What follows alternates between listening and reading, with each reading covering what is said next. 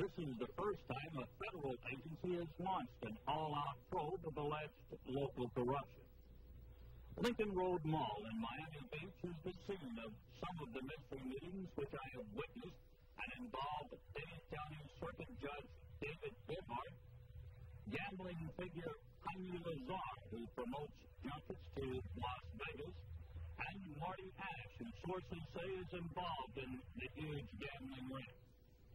I have learned that the investigative surveillance, which began in April 1973, has established that until one month ago, bookmaking suspect Ash would arrive at the Lincoln Road Mall shortly after 9 a.m. nearly every Saturday and visit either Eddie Hart's clothing store at 727 Lincoln Mall or the Lincoln Lane Barbershop across the street from Hart. My sources say that junket operator Hymie Lazar would arrive at the mall shortly before 10 and meet with Ash. Judge Goodhart's arrival at the mall was usually between 9.45 and 10. He went directly to the park, entering the store's back door on Lincoln Lane.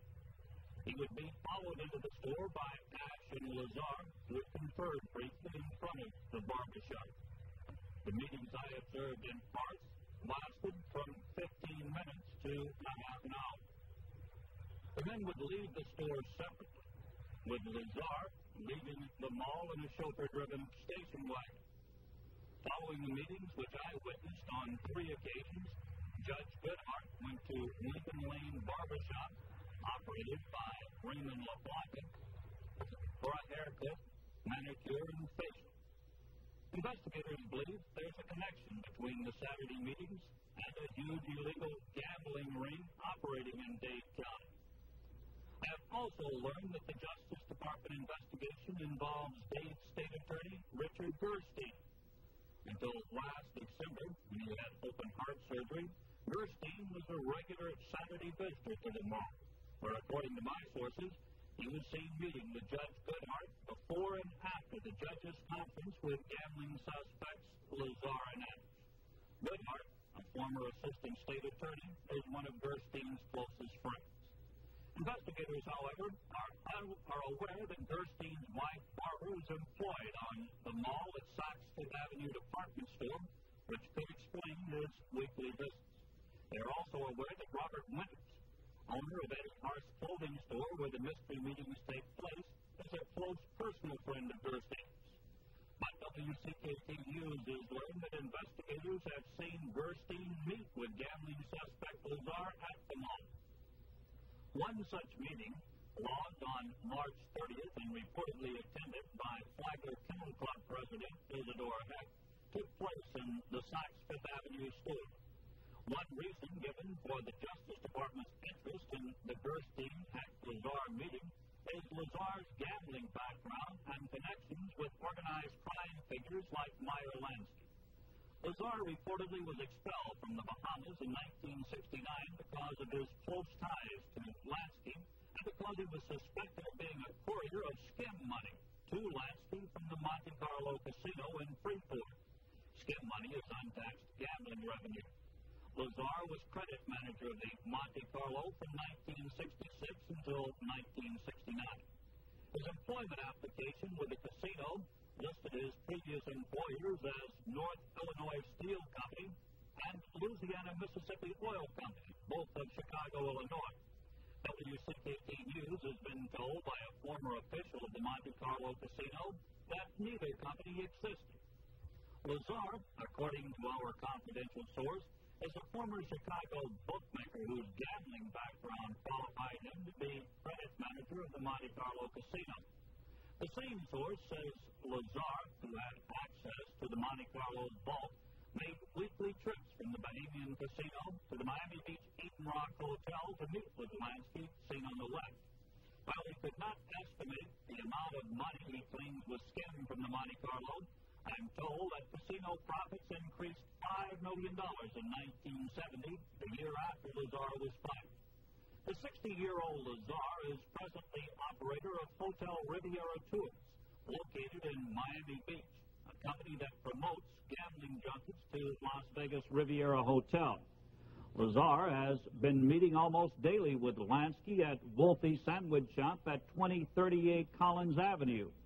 And I will have details and film of the Lansky-Lazar meetings as the big news continues. WCKT News disclosed earlier in this report that the Federal Organized Crime Strike Force in Miami has launched an all-out probe to determine if there are links between public officials and a multi-million dollar bookmaking operation in Dade County. One of the men under investigation is Hymie Lazar, a gambling junket operator who I've seen meeting on Saturday mornings with Dade Circuit Court Judge David Goodhart. Weekdays, I have seen Lazar at Wolfie's restaurant meeting with Meyer Lansky, the 72-year-old reputed mob boss. WCKT News secretly took pictures inside Wolfie's on April 30th, while Lansky on the left and Lazar on the right had breakfast with a man identified as Jack Grill, who regularly drives Lansky to the restaurant, and a woman who's an associate of Lansky's close friend, Benjamin Siegelbaum. Lansky, often identified as the financial wizard of organized crime, is seen here giving money to a man who remained outside the restaurant during the meeting. We identified the man as Bernie Castellane, who is named in records of the Miami Crime Commission as a former employee of the late Trigger Mike Coppola, a notorious Miami Beach gambler in the 1960s.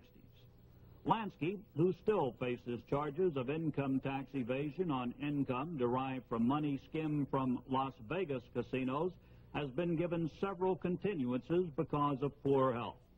Although he underwent open heart surgery in early 1973, Lansky conducts a vigorous meeting schedule at Wolfie's where he eats a high cholesterol breakfast of bacon and eggs. I have learned that the meetings at Wolfie's have been under surveillance because of Lansky's conferences with Lazar and because of the presence at some of the breakfast meetings of Jack B. Cooper, a part owner of Flagler Kennel Club.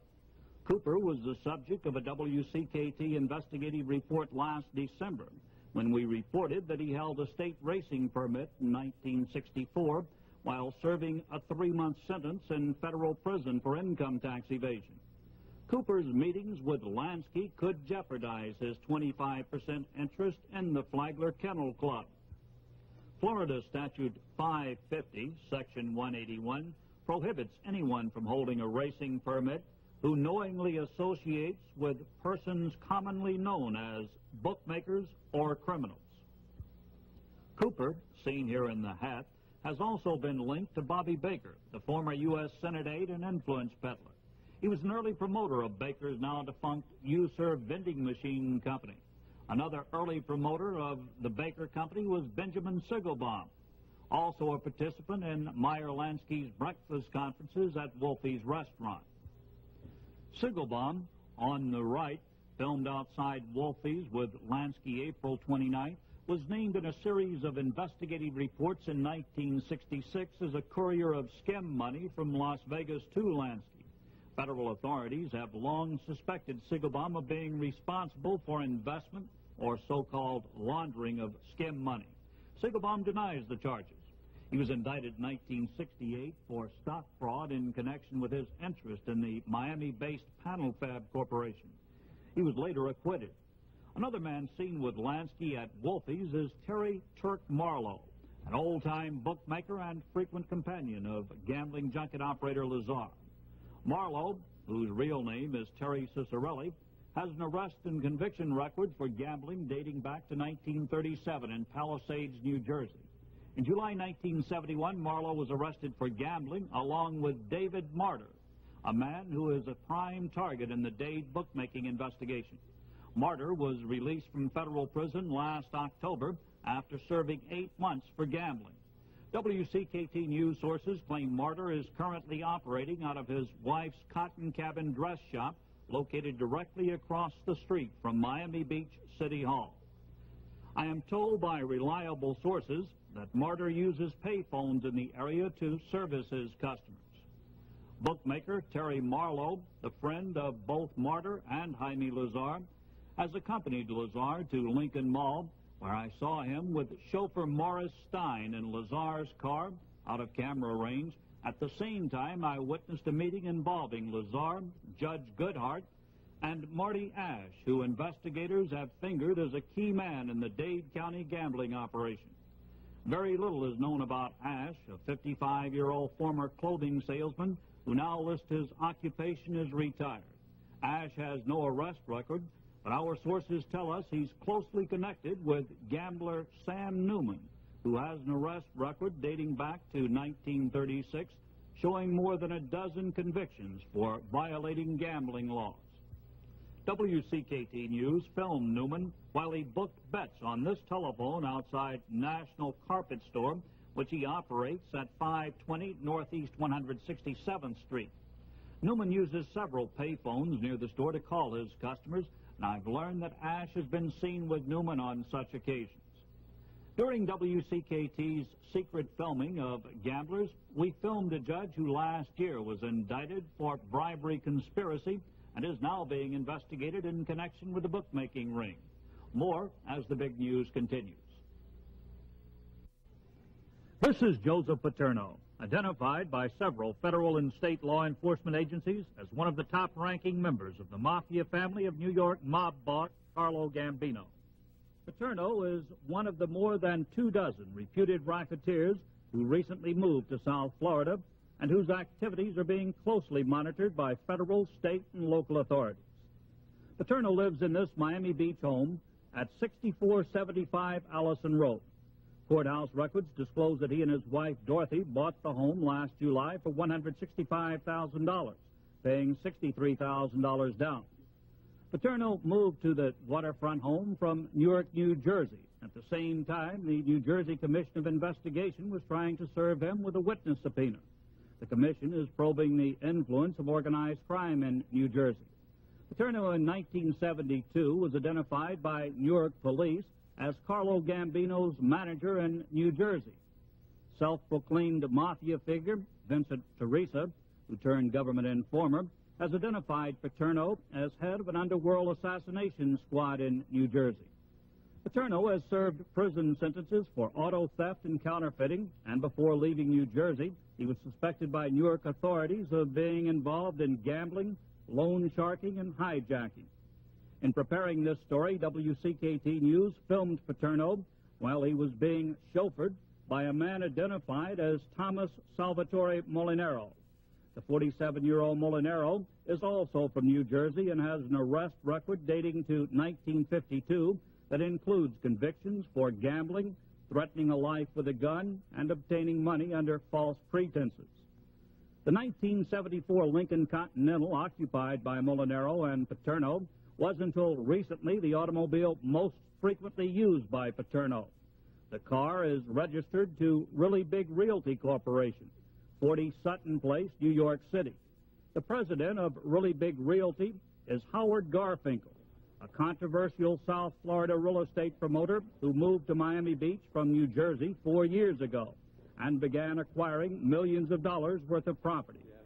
WCKT News disclosed last April that New Jersey authorities had uncovered numerous long-distance telephone calls from Paterno to Garfinkel's penthouse offices in the Imperial House condominium on Collins Avenue, Miami Beach.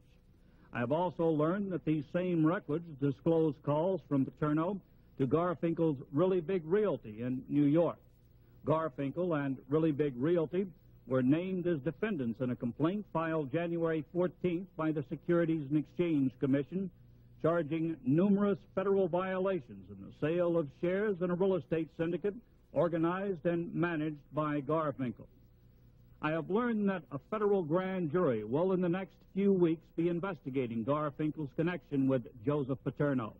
Most of Garfinkel's holdings have been foreclosed or are in serious financial trouble, including the Imperial House, where Garfinkel maintained offices until three months ago, and the nearby Eden Rock Hotel, the current headquarters for Garfinkel's operations. The owner of the Eden Rock is listed as Garfinkel's wife, Barbara. The Garfinkels live in this luxurious estate at 4777 Pine Tree Drive, Miami Beach, less than two miles from Paterno's home. Like Paterno, Garfinkel has also experienced the less luxurious surroundings of a state prison. A three-page rap sheet on Garfinkel lists a dozen arrests and four convictions, including a two-year sentence he served in New Jersey for obtaining money under false pretenses and transporting counterfeit securities. By coincidence, Garfinkel's conviction in Essex County, New Jersey for transporting counterfeit securities occurred at the same time the Essex County Organized Crime Strike Force named Joseph Paterno as the brains behind a counterfeit securities ring. Paterno is possibly the most notorious rocketeer to flee New Jersey to avoid subpoena. He and other underworld figures are being closely monitored by at least three law enforcement agencies the Organized Crime Strike Force of the U.S. Justice Department, the Organized Crime Bureau of the Dade Public Safety Department, and the Florida Department of Law Enforcement. One of the underworld figures being watched has been described as one of the fastest rising racketeers in organized crime. He will be subject of tomorrow's report. Emilio DeLeo, nicknamed the Count, is a former kingpin of gambling in New York, New Jersey. He fled to Florida in 1973 to escape a subpoena by the New Jersey Commission of Investigation. The 62-year-old DeLeo is identified by New Jersey sources as a member of the mafioso family of the late Vito Genovese. DeLeo's extensive arrest record includes convictions for auto theft, robbery, conspiracy, and numerous gambling charges. DeLeo now lives in this $70,000 home at 18755 North Bay Road in Sunny Isles. The house in recent months has been the gathering place for several gambling and underworld figures. DeLeo's closest associate is his stepbrother, Ralph Delia, seen in this WCKT surveillance film, who also has a New Jersey arrest and conviction record for gambling and conspiracy. Ralph Delia lives across the street from Emilio DeLeo at 331 188th Street in a home that was purchased by Emilio last October for $34,000.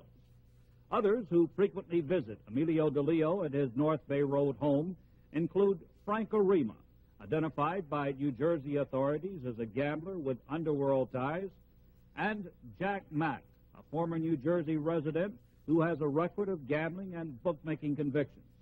Another close associate of Emilio DeLeo is Joseph Cavello, who also moved to Florida to avoid a New Jersey Crime Commission subpoena.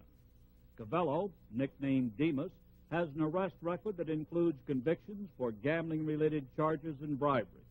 According to New Jersey police sources, Cavello took over DeLeo's gambling operations in New York when DeLeo moved to Florida. Cavello resides at the Hemispheres condominium at 1950 Ocean Boulevard in Hallandale Beach.